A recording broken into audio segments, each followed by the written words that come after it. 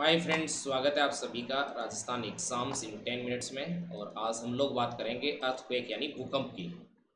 उससे पहले कुछ जानकारी, मैं Suresh Tolia ten year teaching experience ये मेरा टेल रेफरल कोड है जिसको यूज़ करके आप एडमिशन ले सकते हैं। ये मेरा टेलीग्राम चैनल है जिस पर आप मेरे को फॉलो कर सकते हैं। यहाँ पर इंडियाज़ के टॉप मोस्ट एजुकेटर्स के डेली लाइव क्लासेस होती हैं लाइव टेस्ट होते हैं स्ट्रक्चर्ड कोर्स है।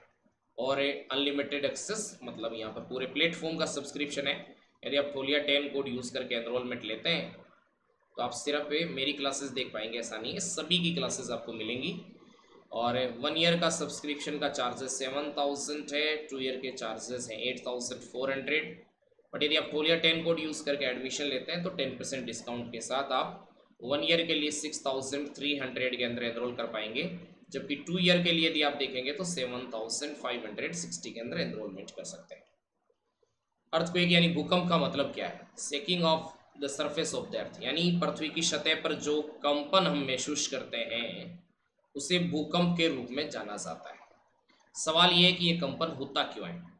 तो जिसका मुख्य कारण है पृथ्वी के आंतरिक भागों से, यानी भूकंप का संबंध मुख्यतः पृथ्वी के आंतरिक भागों से, यानी एंडोजेनेटिक फोर्सेस के कारण से। है तो एंडोजेनेटिक फोर्सेस के कारण से या अंतर्जात बलों के कारण से, जो अचानक due to sudden release of energy अचानक जो ऊर्जा निकलती है एनर्जी निकलती है, उससे कई प्रकार की सिस्मिक वेव्स यानी भूकंपीय तरंगें उत्पन्न होती हैं।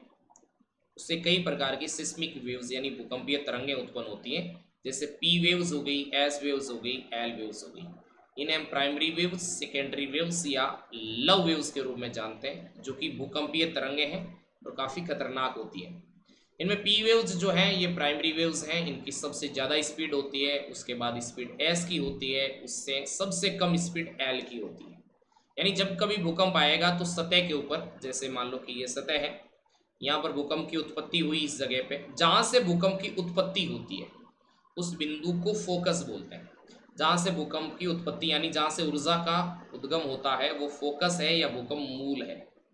यहाँ से जो है ये ऊपर की तरफ़ जाएगा और जहाँ पर सतह पर सबसे पहले महसूस होगा, स्पर्श होगा, उसे हम लोग इपी सेंटर के रूप में जानेंगे। इपी सेंटर या आदि के अंदर के रूप में जानेंगे। इपी सेंटर या आदि के अंदर के रूप में जाना जाएगा इसे। जहाँ पर सबसे पहले स्पर्श करेगी, यानी भूकंप भूकंपीय तरह यानी जहाँ से उत्पन्न होती है, वो हो गया भूकंप मूल, जहाँ सबसे पहले पहुँचती है उसे ईपी सेंटर एकदम शॉर्टेस्ट डिस्टेंस होगी, यानी मिनिमम दूरी होगी, लगभग 90 डिग्री के ऊपर होगा ये। तो ये ध्यान रखना आपको। जैसे जैसे हम एपी सेंटर से दूर बढ़ते जाएँगे, वैसे वैसे भूकंप की तीव्रता कम होती जाएगी। तो यहाँ से जो भूकंप मूल है, यहाँ से पी और एस तरंगों की उत्पत्ति होती है। जब यहाँ से पी तरंगे उत्पन्न होती है तो ईपी सेंटर पर सबसे पहले पी तरंगे पहुँचती है, क्योंकि सबसे ज़्यादा स्पीड है।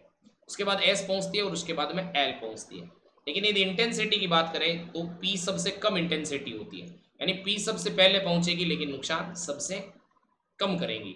उससे ज़्यादा एस नुकसान करेगी और उससे ज़्यादा एल करेंगी। पी वेव्स होती हैं, ये प्राइमरी वेव्स होती हैं और लॉन्गिट्यूडनल वेव्स बोलते हैं। लॉन्गिट्यूडनल वेव्स का मतलब हो गया अनुदैर्ध्य तरंगों के रूप में जाना जाता है। अनुदैर्ध्य तरंगों के रूप में। एस वेव्स है, इन्हें हम ट्रांसवर्स वेव्स के रूप में बोलते हैं। यानी ये अपने पास में अनुप्रस्थ तरंगों के रूप में। यानी यदि अपन अनुदैर्ध्य तरंगों की बात करें तो ये ध्वनि तरंगों की तरीके से या साउंड वेव्स की तरह होती है। और अनुप्रस्थ तरंगों का मतलब ये हो गया कि ये प्रकाश तरंगों के समान होती है। दवनी तरंगों का मतलब इस तरीके से जैसे इनको इस साइड में जाना है, इसी ठाई साइड में इनका वाइब्रेशन होगा आगे पीछे। जबकि प्रकाश तरंगों में इस तरीके से होता है कि जैसे इनको इस साइड में जाना है तो इनका वाइब्रेशन इनके 90 डिग्री पर इस तरीके से होता है। तो ये फ़र्क रहता है। तो इंटेंसिटी के और स्पीड जो है एक दूसरे के उल्टा है। स्पीड सबसे ज़्यादा पी की, उससे कम एस की, उससे कम एल की। और इंटेंसिटी सबसे ज़्यादा एल की, उससे कम एस की और उससे कम पी की होती है। भूकंपीय तरंग। जैसे देखो ये, सबसे पहले अराइवल टाइम जो है, सबसे पहले पी का होगा, उसके बाद कौन आएगी? एस वेव्स आएगी और सबसे अंत में कौन सी आएगी? सरफेस वेव्स या इन्हें एल वेव्स के रूप में बोलते हैं। पी वेव्स और एस वेव्स क्योंकि पृथ्वी के आंतरिक भागों में चलती है, इसलिए इन्हें बॉडी वेव्स के रूप में जानते हैं। जबकि एस एल वेव्स होती है, इन्हें सरफेस वेव्स के रूप में जानते हैं। सबसे खतरनाक होती है, सबसे अंत में पहुँचती है। पी वेव्स जो होता है सभी माध्यम में चल सकती है सॉलिड में भी चल सकती है लिक्विड में भी चल सकती है और गैस में भी चल सकती है। लेकिन जो एस वेव्स है, ये केवल सॉलिड यानी सॉलिड मीडियम के अंदर ही चलने में सक्षम है। यदि हम देखें पी वेव सब जगह नहीं पहुँचती, ऐसा नहीं कि सब जगह पहुंचेगी। जैसे यहाँ से फोकस से यदि ए उत्पन्न हुई है, यहाँ से तो यहाँ से यदि आप देखोगे और ये यदि इसका सेंटर है तो यहाँ से आप देख लो तो ये 90 डिग्री हो गया। तो ये लगभग एक, यहाँ पर आप काउंट करो तो ये 90 हुआ तो ये 105 डिग्री यहाँ से आप देखोगे तो 105 तो ये 105 डिग्री से लेकर के 145 डिग्री के बीच में पी तरंगे नहीं पहुँच पाती है। तो पी तरंगे नहीं पहुंचेगी तो ये पी तरंगों के लिए सेडो जोन हो जाएगा। यानी पी वेव्स का ये सेडो जोन कहलाएगा। इसी तरीके से इधर भी 105 डिग्री से लेकर के, आगे झुकाओगे तो 105 डिग्री से लेकर के 145 डिग्री तक पी वेव्स नहीं पहुँचती है। उसके आगे फिर से प्रकट हो जाती है, जिसका मुख्य कारण है कि इनर कोर में इनकी स्पीड बढ़ती है। और इनर कोर फिर सॉलिड आता है, जिसके कारण से इनकी डेंसिटी बढ़ती है। तो इस तरीके से वापस प्रकट हो जाएगी। केवल 105 से लेकर के 145 डिग्री के बीच में ही प्रकट नहीं होगी। इसी तरीके से एस वेव्स होती है, उनका सेटोजोन 105 के बाद ये वापस आती नहीं है, क्योंकि ये एक तरीके से कोर में जाती नहीं है। क्योंकि आउटर कोर हम लोगों को पता है कि लिक्विड स्टेज के अंदर है। और लिक्विड में है तो यहाँ पहुंचेगी नहीं। नहीं पहुंचेगी तो ये सिर्फ़ 105 डिग्री तक ही जाती है।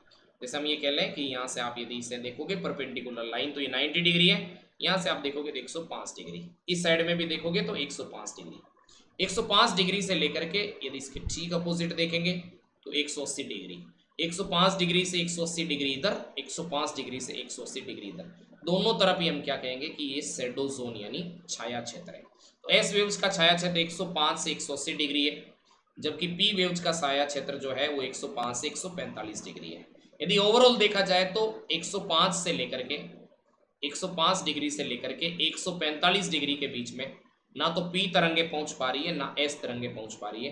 तो इस रीजन को अर्थक्वेक जो है सेडोजोन के नाम से जानते हैं। अर्थक्वेक सेडोजोन के नाम से जानते हैं। ये ध्यान रखना। अभी कितने प्रकार के होते हैं सर? तो तीन प्रकार के अर्थक्वेक्स होते हैं। इसमें सेलो फोकस होते हैं इंटरमीडिएट फोकस होते हैं और डी फोकस के भूकंप होते हैं। सेलो फोकस जो है यानी जिनका उद्गम के अंदर या जो फोकस है या भूकंप मूल है, वो 50 किलोमीटर से ज़्यादा गहराई में नहीं हो, यानी 50 किलोमीटर से मैक्सिमम गहराई हो। इंटरमीडिएट का या मध्यवर्ती भूकंप मूल हो गया मतलब 50 किलोमीटर से 250 किलोमीटर की रेंज में कहीं पर फोकस है। इसी तरीके से डी फोकस होता है, जो कि 250 किलोमीटर से ज़्यादा गहराई में।